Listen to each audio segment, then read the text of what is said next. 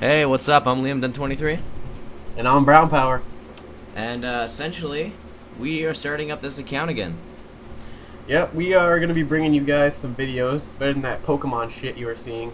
Yeah. Um, Hopefully some montages, reviews, just gameplay, commentary, fun stuff. Call of We're- Duty, Gears of War, Yeah, any we're, other game. we're really gonna we're really gonna go all out on this. We're not really just gonna stick with Halo 3 glitches like we did before. We're gonna expand our territories, not just glitching in other games, but more like achievement guides, walkthroughs, montages, gameplay footage, uh, open lobbies, whatever we want. Really, we'll do it. You know, and For sure, live streams, anything. You guys, if you guys can think of something and you want to see it, you just leave it down in the comments. Give us give us something good to work with. I just ate shit.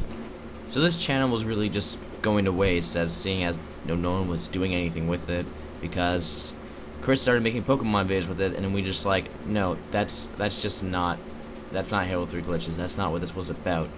We're not doing Pokemon videos, and then he said he was gonna quit Halo 3 glitches again.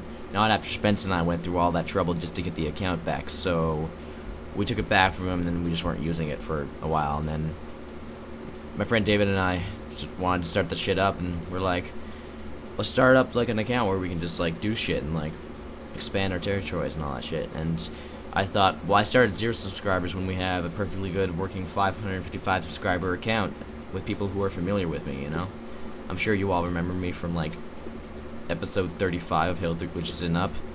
Um, of course, that was a long time ago. Doubt we'll be still be doing that, but you know, I'd love to see you guys out there, and thank you for watching. Uh, expect some really good stuff soon. Love you guys.